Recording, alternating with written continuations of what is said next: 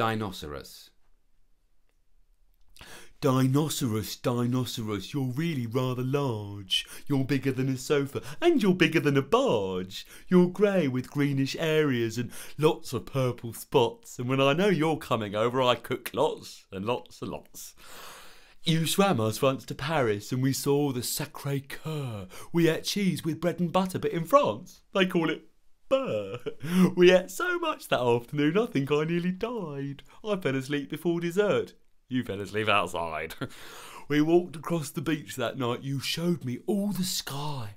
I said the stars were tiny, so you flew us very high.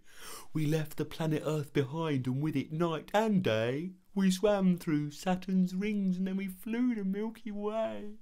I always thought that space would be a, a freezing, empty place, but now I know it's bright and shines its warmth upon my face.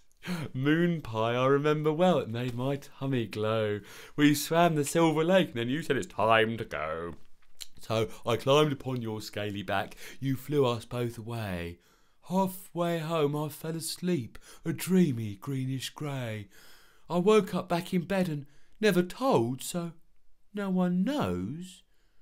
Did it happen? Why not ask the sand between my toes?